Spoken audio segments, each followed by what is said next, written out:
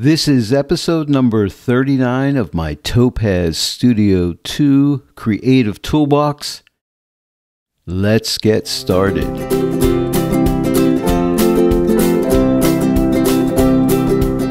Hello, everyone, and welcome to the Joy of Editing with Dave Kelly. This is episode number 39 of my Topaz Studio 2 Creative Toolbox.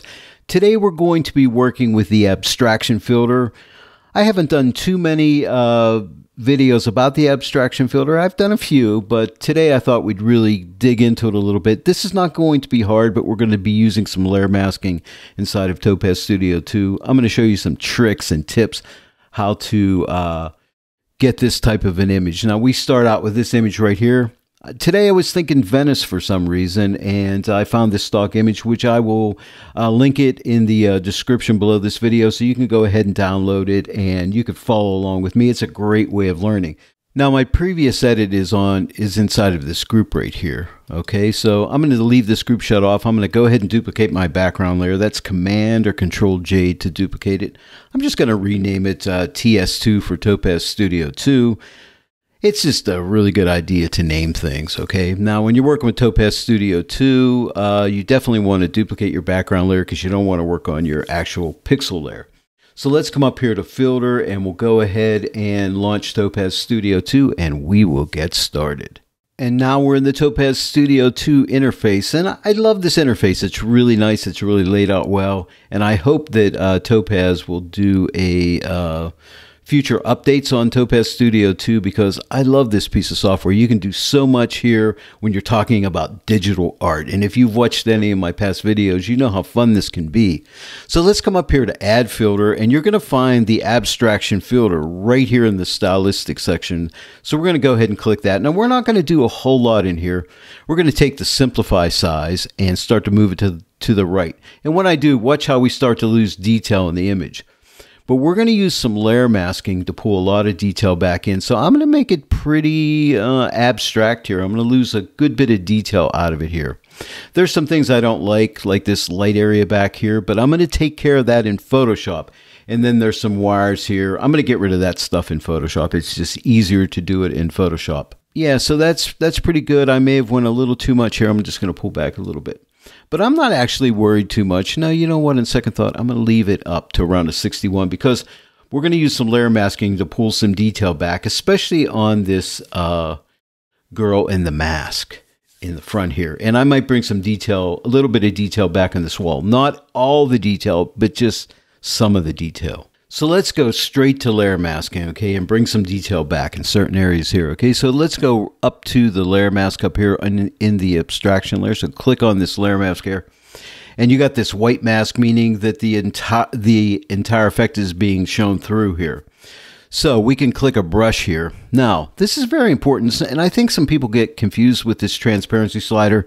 Think of this transparency slider as a way of adjusting your adjustment brush. In other words, when it's black, and if I paint here, I'm going to reveal the entire amount of the underlying layer back in, okay? But if I take it to white and paint over here, revealing the abstraction filter, okay? So if I take this uh, slider and move it, and you can see it's a little bit gray right here, so let me go ahead and paint around there a little bit more, and that turns white, hopefully. So yeah, I have it the whole way up okay. But, and now the reason why you saw some showing through there is because I have the softness turned up here and the edge aware is turned on as well. Edge aware is really cool technology. It'll hug edges and things like that. It may not come into big effect here, but it's it's going to be something that, that you want, and it's think of it as very intelligent um, layer masking, where it's going to grab itself around edges and things, which is really it's really a cool feature, and that's something unique to uh, Topaz. So we're going to leave the uh, softness up to about 50%. We're going to leave the edge aware turned on. And now this transparency slider, watch, I can take it and take it back like to like a like a gray color right here, okay? And I'm going to test here and we and we could go back and change things. And we have a radius here. We can make our brush larger or smaller here, okay? So what I'm going to do is paint around the eye area right in here and see how oh, I can bring detail back. Now I can see her eye in here. Now remember, this is digital art, so I don't think I want to see her uh, see her eye. So what I'll do is take this transparency slider and move it more to the right. That's around a 58% and just paint over the eye area here. And I can still see some of it, so let's move it a little bit more. And I'm just painting in the center of the eye. And we can see a little bit of the eye there, and that's nice. It's kind of mysterious. So uh, now I'm going to take the slider and move it back. Now it's not going to alter anything here. It's just going to alter what the brush is going to be painting on now. And so I'm going to paint around the eye here in this area here. I'm going to stay off the center of the eye, okay? And look, I lost a lot of the detail in her nose, so I'm going to bring her nose detail back in and up in here as well. And look at these little jewels on her face. And look, her mouth. We lost her mouth. So look, we can bring some mouth in. There's some painting on her face. Let's bring some of that back in. Now remember, it's not bringing it in the full way. There's a jewel right here. So let me bring some of that jewel in. Now, if that's too much and there's too much detail here, watch, I'll just take this transparency slider and slide it to the right. And now I've taken some of that detail out, right? So let's, on the hat here, let's bring some of that detail back in. Isn't that cool? So we're going to bring some detail back in the foreground areas, which will really bring attention to our masked lady right here. And it's really cool. And then I'm going to work on her, um, I don't know, what do you call this area, this fringing area? Let's call it a fringing area. Forgive me for I'm not good at naming things, okay? We'll bring some of the detail now. I might have I might have too much detail in here, so let's Let's pull this more to the right and look, I, I want to take some of that detail away. Even, even more than that, maybe like so, like right around in there. Yeah, I don't want to bring too much detail in. And then there's like something she's holding here. What is this? Does anybody know what this is? Is this like Aladdin's uh, lamp here? Who knows, right? Here's some kind of a thing here. I don't know what this is, but let's just bring a little bit of detail in it. Okay? Because remember, this is digital art. We're making a piece of digital art and we don't want to bring all the detail in. Even on here, there's some sequins on here, some some kind of a thing on here. You ladies know what this is. I don't. I'm bad with these things. Let's bring a little detail into her gloved hand here. Okay, and then on this area of whatever this lacy thing is, this frilly thing, we'll bring some of that detail in. But isn't that cool how we can just bring some detail in and just break this thing up. And then we have this nice out of detail area back in here. So let's just work a little bit more in here. Okay. And now I'm going to make my brush larger. Okay. And then I'm going to bring some of this detail back on this wall right here. Because remember I said I'd like to bring some of that detail back in. Just a little bit there because she's in the foreground here and I want to push this background back. So we would naturally have a little more detail in the front. Now I'll even paint on the front here of her uh, outfit. And I'm still, I have very, it's very light, so I'm not going to let a whole lot of that detail through. But I'll let a little through. And I think that looks good. I'm kind of happy with it. I'm going to make my brush a little smaller and maybe a lot smaller. And I think I'm letting too much detail through here, so I'm going to cut some of the detail back. But you can go ahead. Remember this slider here. You can change it to all kind of different shades of gray. And when it's lighter, you're letting more of the abstraction filter show through. And if you make it darker, you're letting more of the original layer show through. It's just really that easy here. And maybe on our mouth here, I might want a little bit more of that mouth to show through. So let me make this a little bit smaller. And more than that. Okay, Dave, maybe somewhere right around here. Helps to talk to yourself. I don't know if you like to talk to yourself, but sometimes I find that talking to yourself really can help you. Okay, and I think it's pretty good. Maybe I'll just bring a little more detail into certain parts of this thing. Not everything, just maybe right here. Just a little bit of extra detail. Okay? I don't want too much detail to show through, but I like it on that point right there. And this little sequin right here, I think I'll take some of that detail away and make my brush a little bit smaller and just paint over here. Isn't that cool? We want it to be art. I'm really happy with it. Um, Oh, I'm not done yet because I got to paint some of her hat in. Whoops, give myself a bigger brush. Give yourself a bigger brush, Dave. Look, there's a rose up in here. Let's paint some of this detail back in on this hat up in here. Okay? And don't be afraid if you don't get it right, because if you say, man, there's too much detail, I really screwed up. No, you didn't. All you have to do is take this transparency slider, slide it more to the right, and you'll get it. And this will really help you to understand how layer masking works here. Look, there's a jewel right here, and I want some of that jewel to show through. And I might want a little more to show through, so watch, I'll take this transparency slider, move it more to the left, and just paint over that jewel, just like so, and bring more of that through. And I think you're getting the idea. I'm not going to spend too much time here because the video will get too long, because there's one other thing I want to do here in Topaz Studio 2. What I want to do is add another filter But before I add the filter, check my mask out there. Doesn't that look cool? Hey, there's a piece of art right there in that mask. Wow, a black and white, ethereal, ghosty looking image. Kind of fun. Let's go to add filter. Let's go to precision contrast. Now, I love precision contrast. I feel I could use a little bit more contrast, pop a little contrast. And, and when you add contrast, you're also going to bump up uh, saturation as well. I'm not going to mess with micro because I've taken most of the detail out of this image. So I'm going to work with low contrast, start to move it to the right and see that, see that contrast coming up there. And I'm also bringing up some saturation when I do that. Now I'll go to the medium areas of contrast and I'll bring a little bit of that up. Not too much. You can go crazy here and it'll look not nice. See, I can lose like detail under a hat right here if I go too much. So you got to be careful. Just be, you know, be studying what you're doing here and just don't, you know, willy nilly just move these sliders and really watch what you're doing. Now, this high slider can really get out of control fast. So if I start to move this to the right, watch, I can make things go really ugly really fast. But you may say, well, you know what? That's the mood I'm in today. I want that look. And if you want that look, that's cool. But let me do this. Let me come back to zero, which is where it defaults at. And let me just move this uh, highlights, not highlight, uh, the high amounts of contrast area to the left. And it'll take some contrast out of those areas, okay? So it'll just soften up like some of the lighter areas.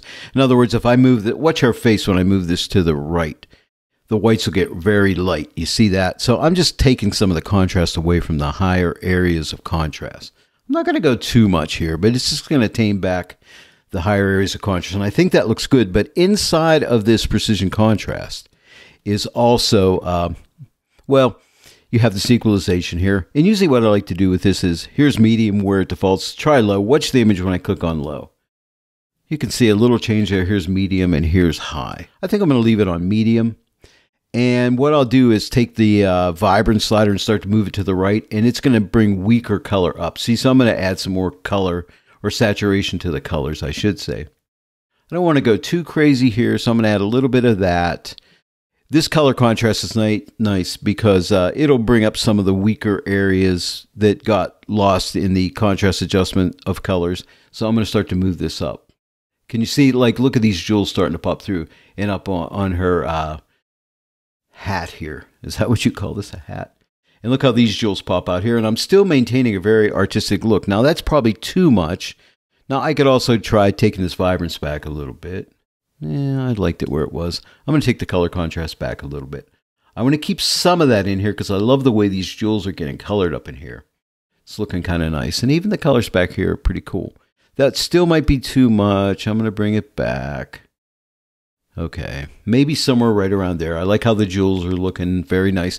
Now let's click this eye off on the precision contrast. So here's the before and here's the after. So before and after. So I think it's moving in a nice direction. Now, if I feel I'm getting too much detail back in this area here, I can come back to the abstraction filter. Uh, let's go back to the layer mask and let's go back to the brush.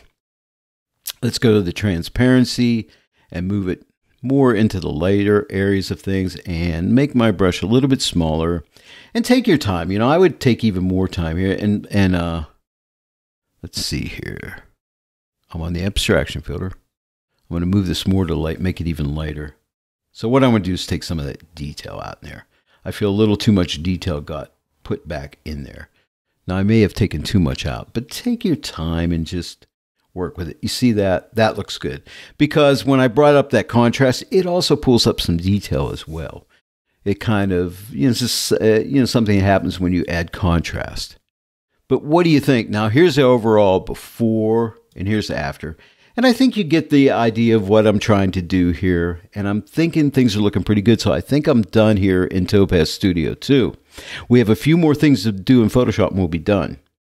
Now all I need to do is come up here to accept, click accept, and that'll send us right back into Photoshop. And here we are. Here is our before and here is our after. And now I just want to do a bit of cleanup work here. So let me go ahead and get myself a blank pixel layer. Okay, let me get myself a clone stamp tool and you can just type S for a shortcut. That's really easy and fast. And I'm gonna make my brush a little bit bigger. That's too big. I'm gonna uh, sample an area like here. So I want to get rid of this area here. It's distracting me. So I'm going to sample this area, click right here and sample and you'll notice I have all layers selected here so it'll sample that and I like to paint on a blank pixel layer it just to me it makes more sense and I could sample from different areas of the image break it up a little bit I'll get rid of some of this stuff in here maybe that little line there getting rid of some of this and you just have to make it look look believable. And just going around to different areas is just sampling different areas, and it helps it to make more sense. It's more random. Okay, so look, that's gone. That's taken care of. And now this, uh, lot, these, I don't know what this is, some kind of a wire or something. I'm going to get rid of that. So I'm going to use a different tool. I'm going to use a uh, spot healing tool, and I'm gonna, I'm just going to use the shortcut J for that. And you can adjust your brush size larger or smaller here. And I'm just going to simply, and I notice I have sample all layers checked here as well. So I'm just going to simply go like this. And this is so easy in Photoshop to do. It's, it's fixed. It's gone, right? And let me even see this area right here, if I can fix that area. Nah, I don't like that. Yeah, that looks okay. I'm just, sometimes I find if you just keep moving this thing a little bit, you can this spot healing tool kind of works with you as you just keep working. And that looks good, right? I just played with it till I got it. This little line right here I don't like. And here's a little line I don't like. And I can just go here and go here and find little things I don't like and fix them. But check that out. Now here it is without this layer 3, which is my correction layer for fixing like weird stuff in the image. Here's before and here's after. So what do you think? I think it looks really good. If you're happy with your overall image, you can go ahead and save it out as a PSD file or as a TIFF file with layers, or you can flatten it and you can come up here to File and uh, you can uh, export it as a JPEG or whatever you want to do. Again, save it as a TIFF or a PSD with layers intact in case you want to come back later and do some other things to it. And that's basically it. The masked Woman from Venice. Well, there it is. I put this in a uh, digital mat. Uh, I used Topaz Studio 2 to do that. And the reason I did that, just to see what it would look like, what if we wanted to sell this at an art fair somewhere? We would want to mat it and put it in one of those clear plastic bags and put it on display. Give this one a try. Download the uh, image so you can try it out for yourself and follow along with this tutorial. I hope you enjoyed this one. If you did, please give it a like, share it with your friends. And if you're not yet a subscriber to my channel, please subscribe. Click that bell notification icon. Then every time I upload a new tutorial, you'll be notified about it. I want to thank each and every one of you for joining me today in The Joy of Editing with Dave Kelly. And I'll see you all right here next time. But until then, happy editing.